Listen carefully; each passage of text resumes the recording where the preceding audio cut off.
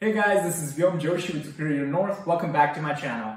Today I will be talking about a stock that was pitched by one of the panelists in the Barron's 2022 roundtable discussion. That stock is called Dril-Quip. In this video, I will be talking about the company's business by going over its 10K, then review the company's fundamentals by focusing on its key ratios, and finally find the intrinsic value of the company. So let's dive in and review Dril-Quip. Hey guys, let's start off by looking at the Form 10K that Dril-Quip filed with the SEC. On page 5 of this report, the company talks about its business. Dril-Quip Inc. is a Delaware company that designs, manufactures, sells, and services highly engineered drilling and production equipment that is well suited primarily for use in deep water, harsh environment, and severe service applications. The company's principal products consist of subsea and surface wellheads, subsea and surface production trees, mudline hanger systems, specialty connectors and associated pipe, drilling and production riser systems, liner hangers, wellhead connectors, diverters, and safety valves. Dril-Quip's products are used by major integrated, large independent, and foreign national oil and gas companies and drilling contractors throughout the world. The company also provides technical advisory assistance on an as requested basis during installation of its products, as well as rework and reconditioning services for customer owned Dril-Quip products. Dril-Quip's customers may rent or purchase running tools from the company for use in the installation and retrieval for the company's products. Dril-Quip is organized in three geographic segments. First is the Western Hemisphere, which includes North and South America, Eastern Hemisphere, which includes Europe and Africa, and Asia Pacific, which includes Pacific Rim, Southeast Asia, Australia, India, and Middle East. The company points out that in 2020, the company generated approximately 66.7% of its revenue from foreign sales, compared to 65% and 61% in 2019 and 2018 respectively. So this goes to show that Dril-Quip has a good exposure to the international market. On the next page, the company gives us an idea of how the industry outlook affects the company's business. Over here, the company states that both the market for drilling and production equipment and services and the company's business are substantially dependent on the conditions of oil and gas industry and in particular the willingness of oil and gas companies to make capital expenditures on exploration, drilling, and production operations. The level of capital expenditure has generally been dependent upon the prevailing view of future oil and gas prices, which are influenced by numerous factors affecting the supply and demand for oil and gas, including the worldwide economic activity, interest rates and the cost of capital, environmental regulations, tax policies, and the ability and or desire for OPEC and other producing nations to set and maintain production levels and prices. If you think about what's happening today, we know that there's high demand and inflation is on everyone's mind. So the future of oil and gas prices are likely to be higher than what we're seeing today. With that industrial outlook in mind, we're likely to see Dril-Quip's revenue increase in the upcoming future. Now let's look at the products and services that Dril-Quip has to offer Dril-Quip's revenues are generated from three sources products, services, and leasing. Product revenue are generated from the sale of drilling and production equipment. Service revenues are earned when the company provides technical advisory, assistance, and rework and reconditioning services. Leasing revenues are derived from rental tools used during installation and retrieval of company's products and from leasing its foregoing facility. For the year 2020, the company derived about 70.9% of its revenue from sale of its products 20.7% of its revenue from services, and 8.4% from leasing revenues. Dril-Quip states that substantially all the company's domestic revenue relates to operations in the U.S. Gulf of Mexico. Domestic revenues approximated 33.3% of the company's total revenues in 2020, 35% in 2019, and 39% in 2018. Finally, the company gives us an idea of how it goes about pricing its products. It states that the company attempts to raise its prices as its costs increase, the actual pricing of companies' products and services is impacted by a number of factors, including global oil prices, competitive pricing pressure, the level of utilized capacity in the oil service sector, maintenance of market share, the introduction of new products, and general market conditions. Next, the company talks about where some of its products are used, which are primarily used for exploration and production of oil and gas, such as floating rigs and jackup rigs, drilling and production of oil and gas wells on offshore platforms, tension leg platforms, and floating production, storage, and offloading monohull moored vessels. On page 10 of this report, the company gives an idea of its customers. Dril-Quip is not dependent on any one customer or group of customers. In 2020, the company's top 15 customers represented approximately 60% of its total revenues, and Chevron and its affiliate companies accounted for approximately 11% of its total revenues. In 2019, the company's top 15 customers accounted for approximately 52% of its total revenue, and BP and its affiliates accounted for approximately 10% of the total revenues. Dril-Quip points out that a customer that accounts for a significant portion of revenues in one fiscal year may not represent an immaterial portion of revenues in subsequent years, primarily because the customer's capital spending budget varies from year to year. So BP may be spending more in one fiscal year and Chevron may be spending more in another fiscal year.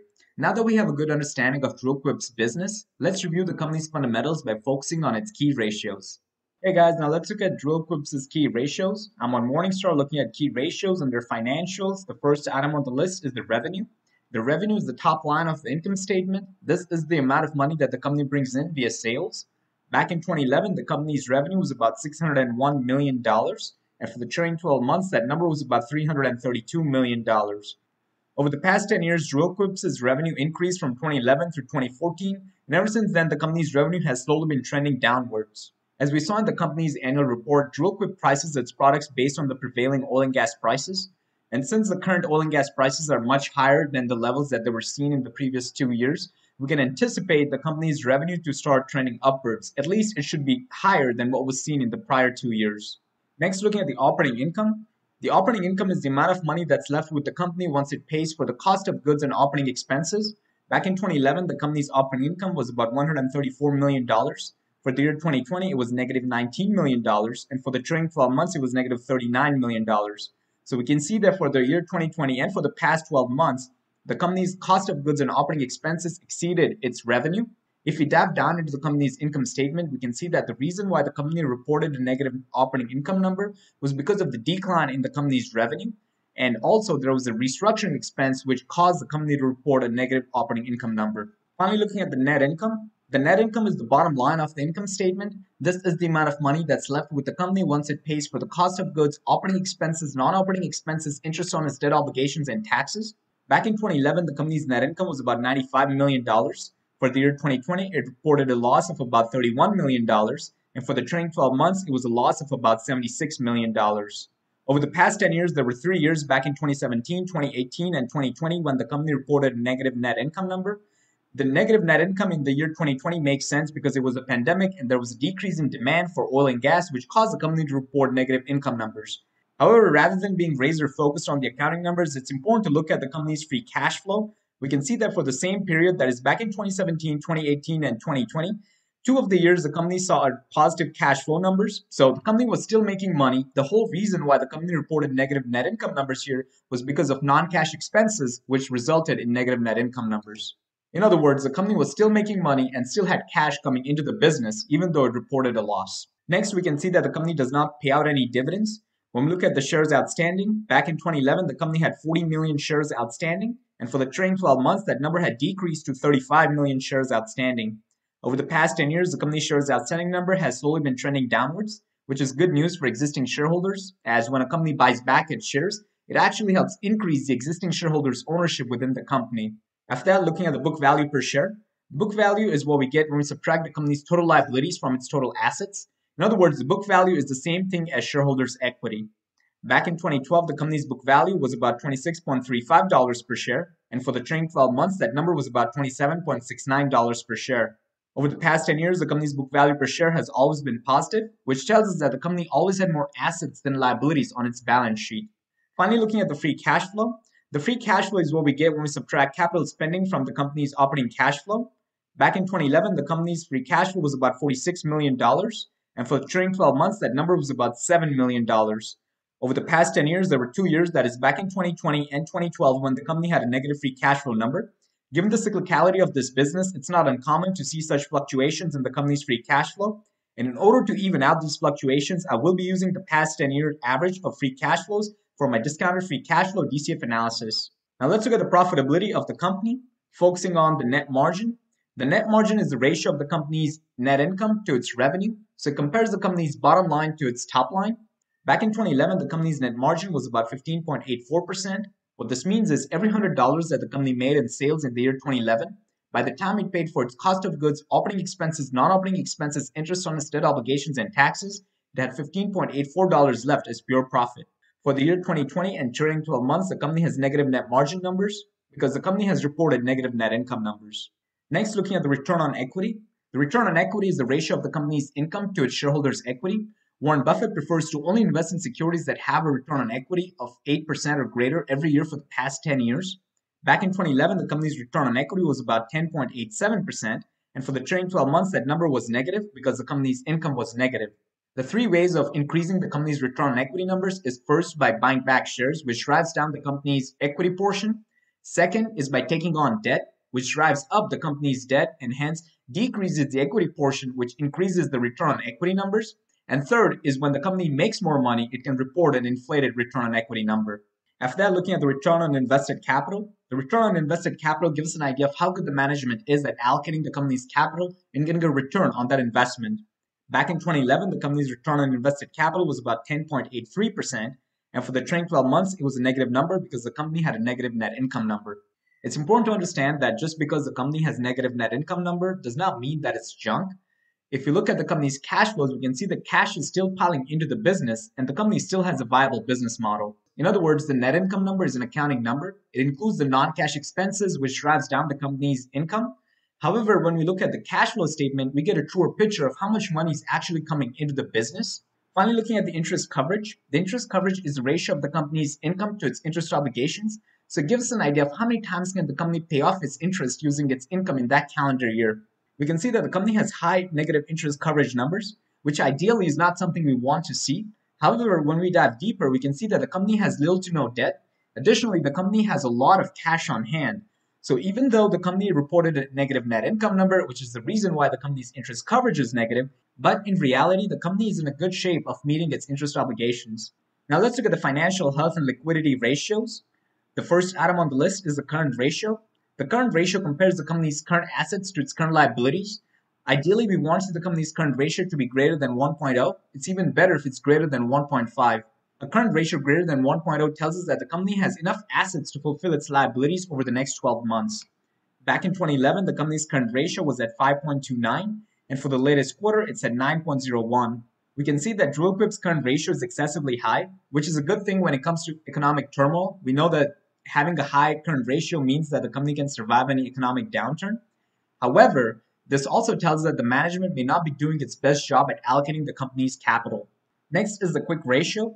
The quick ratio is similar to the current ratio except we disregard the inventory component. In other words, quick ratio is equal to current assets minus inventory divided by current liabilities. Back in 2011, the company's quick ratio was at 3.17 and for the latest quarter, it's at 6.45. Ideally, we want the company's quick ratio to be greater than 1.0, as that tells us that the company does not have to rely on selling its inventory in order to fulfill its current liabilities. Both the current and quick ratios tell us that the company is liquid and is not in a liquidity bind.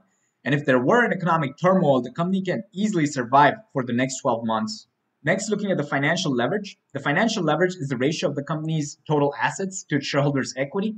A financial leverage of 1.0 tells us that all of the company's assets are financed via shareholders' equity. A high financial leverage tells us that more of the company's assets are financed via liabilities. Back in 2011, the company's financial leverage was at 1.17, and for the latest quarter, it's at 1.12. Over the past 10 years, the company's financial leverage has stayed consistent. Finally, looking at the debt to equity ratio, ideally we want the company's debt to equity ratio to be less than 1.0. It's even better if it's less than 0.5. However, in the case of Dril-Quip, we can see that the company does not have any debt, which is why we do not see any numbers being reported for the debt to equity ratio. Now let's look at the efficiency ratios. The first item on the list is the day sales outstanding. This number gives us an idea of how many days go by from the day the company recognizes its sale to the day it actually receives cash for that service rendered. Back in 2011, the company's day sales outstanding was about 103 days, and for the trailing 12 months, that number was about 108 days. Ideally, we want the company's day sales outstanding number to be staying steady or decreasing, what we do not want to see is a company whose day sales outstanding number is growing rapidly, as that tells us that the company may be aggressive with its accounting, as it's trying to recognize its revenue sooner so that it can inflate its income numbers on its income statement. However, in the case of Dril-Quip, the management does not appear to be playing any such accounting tricks, as the company's day sales outstanding number has been trending downward since 2018. Next, looking at the days inventory, this number gives an idea of how many days does the company's products sit in its inventory before they're sold. Back in 2011, the company's days inventory was about 263 days, and for the trailing 12 months, that number was about 308 days. Ideally, we want the company's days inventory number to be staying steady or decreasing, as we do not want to see the company's inventory just sitting around on its balance sheet. We rather see that inventory being pushed onto the income statement and flow through as profit. Finally, looking at the payables period, this number gives an idea of how many days does the company take to pay its suppliers. Back in 2011, the company's payables period was about 34 days, and for the trailing 12 months, it was about 68 days. Ideally, we want the company's payables period to be staying steady or decreasing. What we do not want to see is a company whose payables period is growing rapidly, as that tells us that the management may be holding on to its cash in order to artificially inflate its cash flow numbers. We can see that the company's payables period did see an increase in the year 2020, which could have been due to the pandemic where everyone was trying to hold on to the cash. So even though the company's payables period is increasing, it's not growing at a rapid pace where it's a cause of concern, but certainly something to keep an eye on. Now let's look at the company's valuation. The first item on the list is the price earnings ratio. Dril-Quip does not have a PE ratio because the company's earnings were negative. The company's price to book is at 0.9. The company's price to sales is at 2.6. The company's price to cash flow is at 51. When we compare Dril-Quip's current valuation to its five-year average, we can see that on the price to book, price to sales, as well as price to cash flow metric, the company is undervalued now compared to its five-year average. Finally, let's look at the company's discounted free cash flow DCF analysis to find the intrinsic value of the company. Over here, I pasted the company's 10-year average free cash flow that I got from Morningstar. I used the 10-year average because of the cyclicality of the company's free cash flow associated with the business. So the company's 10-year average comes out to about $66 million. I'm using an annual growth rate of free cash flow to be 5%.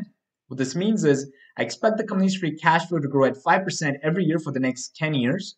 The company's discount rate, I'm using that to be 10%. What this means is I want this investment to give me a 10% return. Said differently, I want to double my investment in seven years.